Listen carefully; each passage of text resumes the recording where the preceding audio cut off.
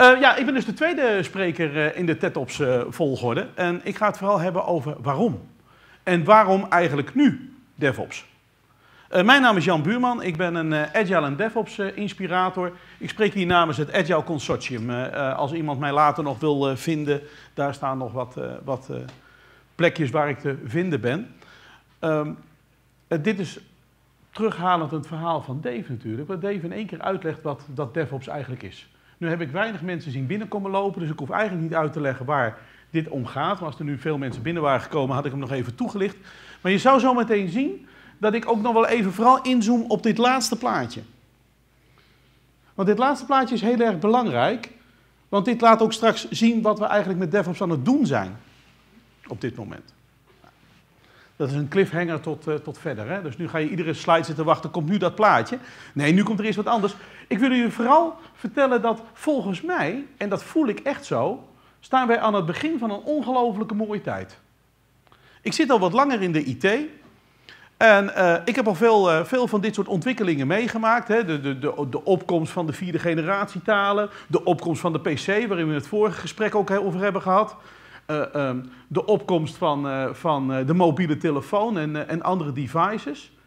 En toch zijn volgens mij al die ontwikkelingen niet te vergelijken met de ontwikkelingen waar we nu voor staan.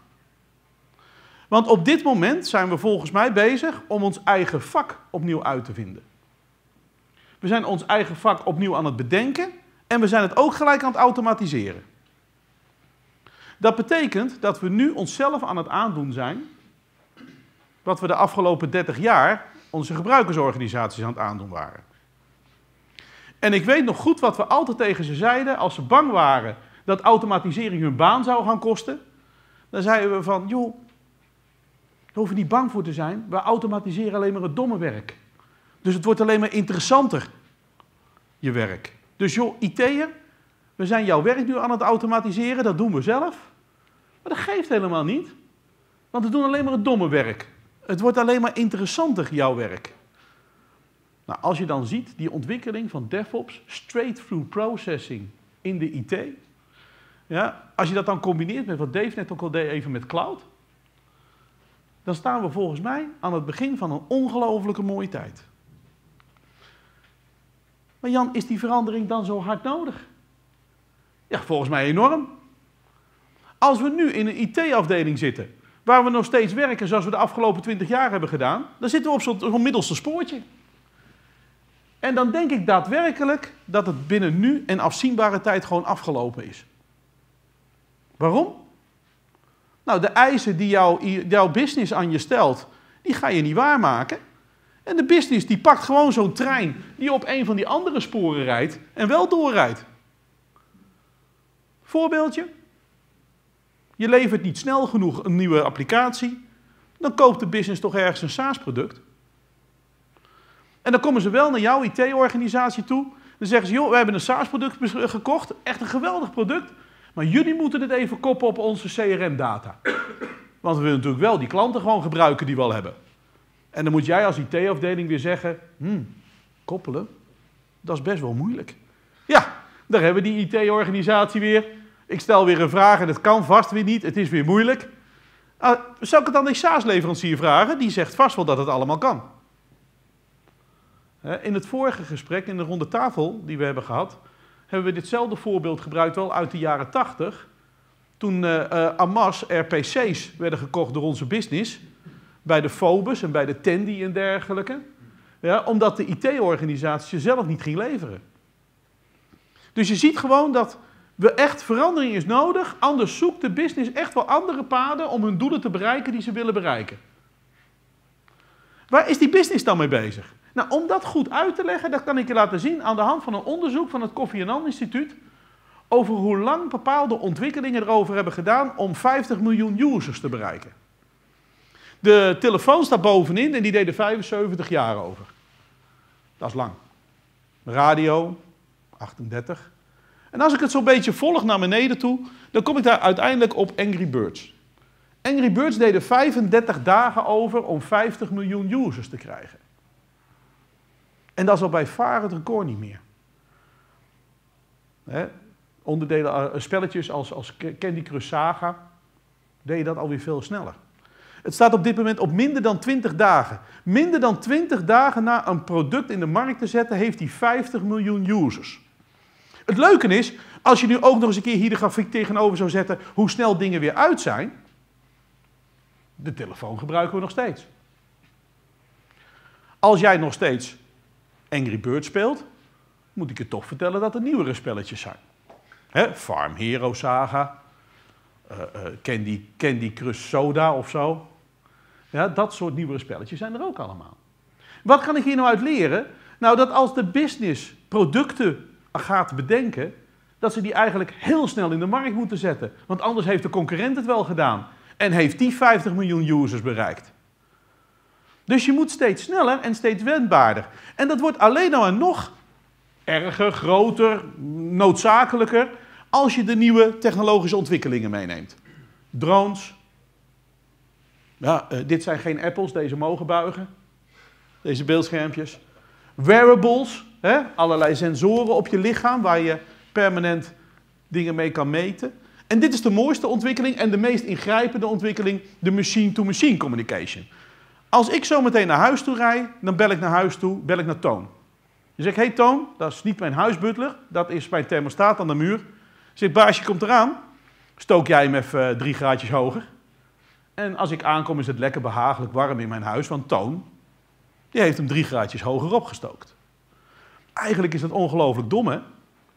Want zowel mijn telefoon als mijn navigatiesysteem, die weet gewoon dat ik op een route zit richting huis.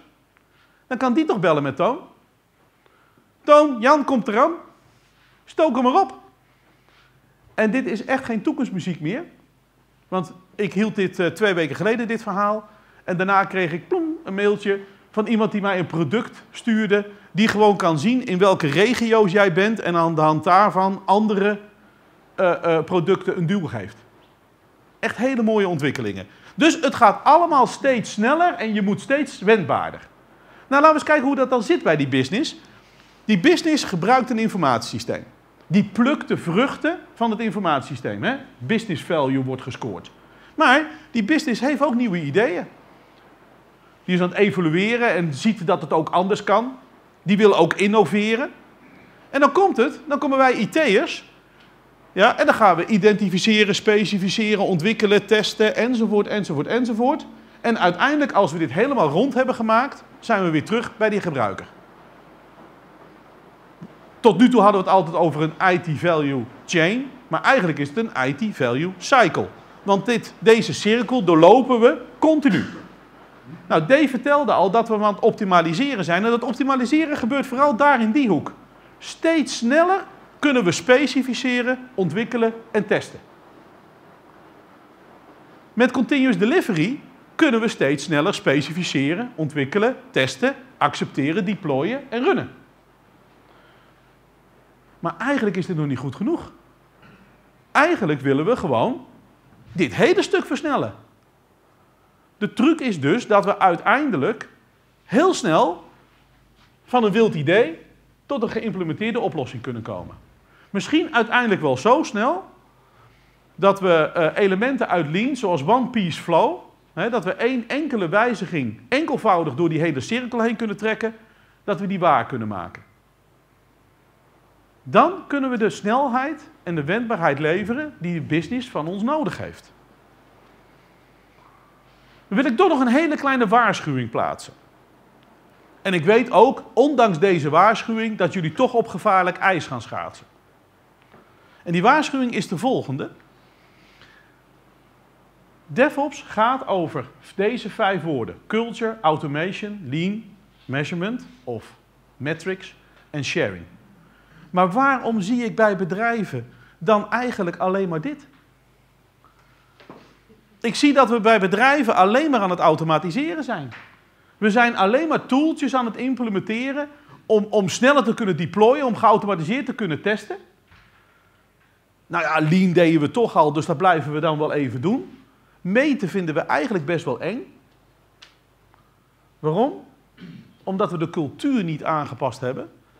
En als we meten in onze oude cultuur, worden we afgerekend.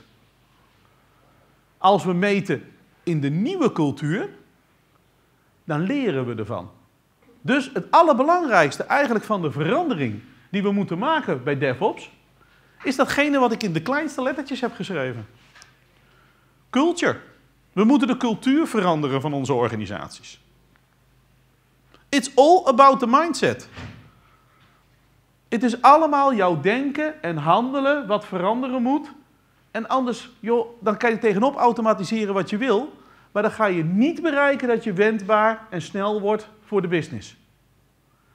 Ja, wat is dan zo'n mindsetverandering? Nou, ik heb eens een paar woorden verzameld die daarbij spelen.